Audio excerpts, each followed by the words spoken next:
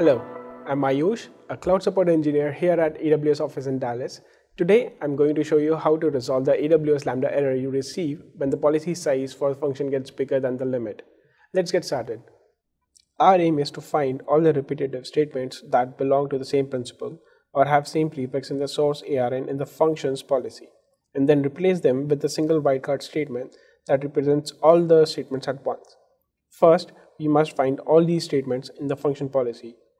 We can do that either from AWS Management Console or by using AWS CLI in the AWS command line interface. First, let's see how to find it from the console. After logging into the console, navigate to the Lambda console.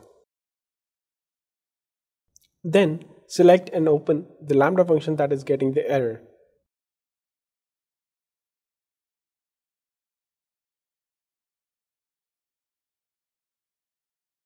Let's switch to the Permissions tab and scroll down to the Resource-Based Policy section. Note all the SIDs that have the same principal or have the same prefix for their source ARN that we can then replace.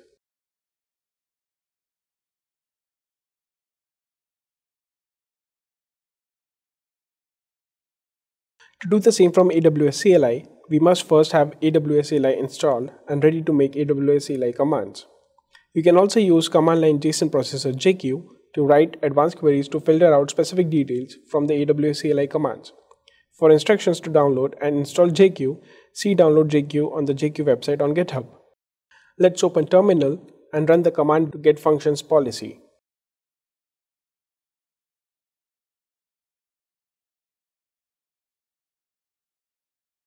We can see from the output that SNS is the most repetitive principal in the policy. We can also see that there are multiple statements with the source ARN that starts with the SNS test prefix. We can filter out all the statement that has source ARN that start with the SNS test with the command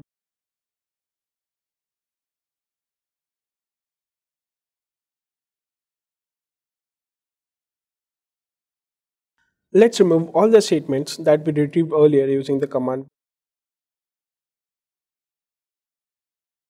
Now we can add a new single statement that uses wildcard SNS test dash star to represent all the statements that we deleted earlier. We can run the command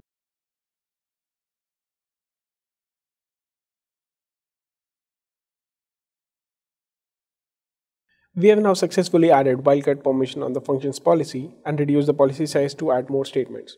You can follow the same method for other repetitive principal or source ARNs that have the same prefix and then replace them with the wildcard statements to further reduce the size of a function's policy. Thanks for watching and happy cloud computing from all of us here at AWS.